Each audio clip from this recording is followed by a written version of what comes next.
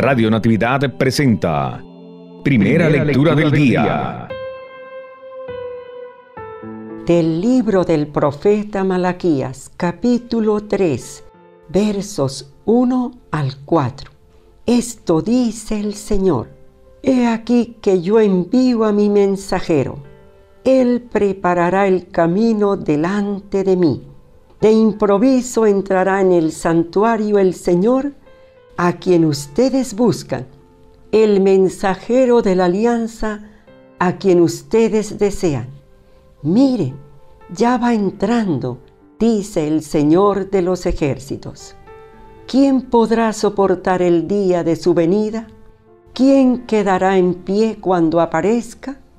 Será como fuego de fundición, como la lejía de los lavanderos se sentará como un fundidor que refina la plata, como a la plata y al oro refinará a los hijos de Leví, y así podrán ellos ofrecer como es debido las ofrendas al Señor.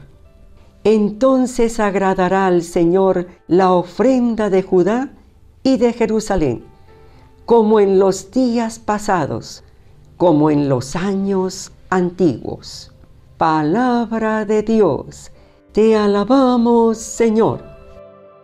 Y celebramos hoy la presentación del Señor, de Jesús en el templo. Amigo, amiga, ¿usted lleva a sus niños al templo? ¿O usted no va al templo? ¿Usted no ha vuelto? Sus hijos van creciendo y no lo ven a usted ir al templo. Ellos no llevarán sus hijos cuando sus hijos tengan hijos, no los llevarán al templo, porque no lo vieron en usted. Una vez me dijo una mamá, ayúdeme para que mi hijo vaya a la misa, para que vaya al templo.